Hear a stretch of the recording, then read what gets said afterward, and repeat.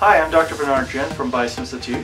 I just wanted to uh, do a little call out for this product. Uh, this is a product I use, it's called Helimend.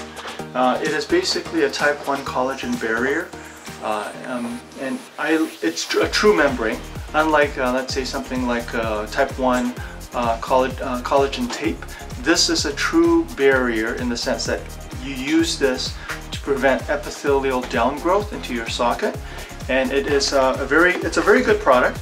It lasts about uh, three to four months uh, of, of, barrier time. That's how long it's going to last. And basically it'll keep the um, epithelium basically it serves as a barrier to keep the epithelium out of your socket or out of your defect. So this is a product I use all the time. It's by it's Helimend Advance okay? And I, I do I do vouch for that. It's a good product. When you have a chance uh, do check them out